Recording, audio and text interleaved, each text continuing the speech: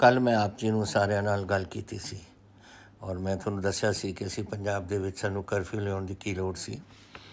ਔਰ ਉਹ ਵਾਹਿਗੁਰੂ ਦੀ ਕਿਰਪਾ ਨਾਲ ਬਹੁਤ ਅੱਛਾ ਚੱਲ ਰਿਹਾ ਹੈ ਲੋਕ ਆਪਣੇ ਘਰਾਂ 'ਚ ਰਹਿ ਰਹੇ ਨੇ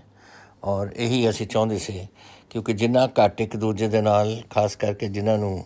ਕੋਈ ਇਸ ਦਾ ਬਿਮਾਰੀ ਦਾ ਕੋਈ ਅਸਰ ਪੈ ਰਿਹਾ ਹੈ, ਉਹਨਾਂ ਤੋਂ ਦੂਰ ਰਹਿਣਾ ਅੱਜ ਕੱਲ ਬਹੁਤ ਜ਼ਰੂਰੀ ਹੈ। ਔਰ ਮੈਂ ਤੁਹਾਨੂੰ ਇਹ ਵੀ ਦੱਸਿਆ ਸੀ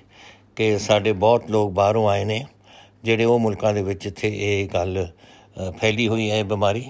ਉਸ ਉਹ ਮੁਲਕਾਂ ਦੇ ਵਿੱਚੋਂ ਜਿਹੜੇ ਆਏ ਨੇ, ਉਹਨਾਂ ਉਹਨਾਂ ਸ਼ਾਇਦ ਉਹ ਬਿਮਾਰੀ ਦਾ ਕੋਈ ਅਸਰ ਲਿਆਏ ਹੋਣ ਉਰੇ, ਜਿਹਦੇ ਕਰਕੇ ਆਪਾਂ ਨੂੰ ਇਹ ਕਦਮ ਚੱਕਣੇ ਪੈ ਰਹੇ ਸੀ। ਹੁਣ ਮੈਂ ਸਮਝਦਾ ਕਿ ਤੁਹਾਨੂੰ ਤਕਲੀਫਾਂ ਵੀ ਹੋ ਰਹੀਆਂ ਨੇ, ਤੁਹਾਨੂੰ ਕਈਆਂ ਨੂੰ ਰਾਸ਼ਨ ਦੀ ਲੋੜ ਹੈ, ਸਬਜ਼ੀਆਂ ਦੀ ਲੋੜ ਹੈ, ਦੁੱਧ ਦੀ ਲੋੜ ਹੈ। ਤਾਂ ਅਸੀਂ ਪ੍ਰਬੰਧ ਕੀਤਾ ਔਰ ਸਾਡੇ ਡਿਪਟੀ ਕਮਿਸ਼ਨਰ ਨੂੰ ਅਸੀਂ ਦੱਸਿਆ ਕਿ ਦੁੱਧ ਦਾ ਪ੍ਰਬੰਧ ਕੀਤਾ ਜਾਵੇ ਔਰ ਦੱਸਿਆ ਜਾਵੇ ਲੋਕਾਂ ਨੂੰ ਕਿ ਕੈਸੇ ਉਹ ਪਹੁੰਚੇ। ਸਮਾਂ ਅਸੀਂ ਇਹ ਕਰ ਰਹੇ ਹਾਂ, ਕੋਸ਼ਿਸ਼ ਕਿ ਉਹਨਾਂ ਦੇ ਘਰਾਂ ਦੇ ਵਿੱਚ ਅਸੀਂ ਪਹੁੰਚਾਇਆ ਜਾਏ। ਸਬਜ਼ੀਆਂ ਵੀ ਦੁੱਧ ਵੀ ਔਰ ਹੋਰ ਰਾਸ਼ਨ ਦੀ ਕੋਈ ਦੁਕਾਨਾਂ, ਉਹ ਖੁੱਲੀਆਂ ਬਾਈ ਰੋਟੇਸ਼ਨ ਅਸੀਂ ਰੱਖੀਏ ਔਰ ਉਹ ਦੱਸੀਏ ਲੋਕਾਂ ਨੂੰ ਕਿ ਕਿਹੜੇ ਦੁਕਾਨਾਂ ਦੁਕਾਨਾਂ ਖੁੱਲੀਆਂ ਨੇ। ਉਹ, ਉਹਦਾ ਡੀ, ਡਿਪਟੀ ਕਮਿਸ਼ਨਰ ਪ੍ਰਬੰਧ ਕਰਨਗੇ ਲੋਕਾਂ ਨੂੰ ਦੱਸਣ ਦਾ।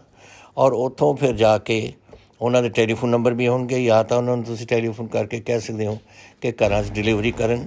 ਜਾਂ ਜਿਹੜਾ ਅਗਰ ਕੁਝ ਜਾ ਕੇ ਤੁਸੀਂ ਜ਼ਿਆਦਾ ਸਮਾਨ ਖਰੀਦਣਾ ਹੈ, ਤਾਂ ਤੁਹਾਨੂੰ ਥੋੜੀ ਦੇਰ ਵਾਸਤੇ ਆਜ਼ਾਦ ਡਿਪਟੀ ਕਮਿਸ਼ਨਰ ਦੇ ਸਕਦੇ ਨੇ ਉੱਥੇ ਜਾਣ ਨੂੰ। ਨਾਲੇ ਇੱਕ ਨੰਬਰ ਤੁਹਾਨੂੰ ਦੱਸਿਆ ਹੋਇਆ ਡਿਸਟ੍ਰਿਕਟ 'ਚ, ਕੋਈ ਹੋਰ ਤੁਹਾਨੂੰ ਲੋੜ ਪਵੇ, ਕੋਈ ਮੈਡੀਕਲ ਲੋੜ ਪਵੇ ਕਿਸੇ ਚੀਜ਼ ਦੀ, ਤੁਸੀਂ ਉਸ ਨੰਬਰ ਤੇ ਤੁਸੀਂ ਕਰ ਸਕਦੇ ਹੋ। ਤਾਂ ਇਹ ਨਵੇਂ ਗਾਈਡਲਾਈਨ ਜਿਹੜੇ ਅਸੀਂ ਅੱਜ ਭੇਜੇ ਨੇ ਆਪਣੇ ਡਿਪਟੀ ਕਮਿਸ਼ਨਰ ਨੂੰ, ਇਹ ਅੱਜ ਤੋਂ ਲਾਗੂ ਹੋਣਗੇ। ਔਰ ਮੈਂ ਆਸ ਕਰਦਾ ਹਾਂ ਕਿ ਜਿਹੜੀ ਤੁਹਾਡੀ ਤਕਲੀਫਾਂ ਹੋਈਆਂ ਨੇ ਤੁਹਾਨੂੰ ਦੂ- ਇਹ ਜਲਦੀ ਦੂਰ ਹੋ ਸਕਣ ਔਰ ਤੁਸੀਂ ਵੀ ਆਪਣੇ ਘਰਾਂ ਦੇ ਵਿੱਚ ਰਹਿ ਕੇ ਇੱਕ ਸੁਖੀ ਦੀ ਜ਼ਿੰਦਗੀ ਬਿਤਾ ਸਕੋ।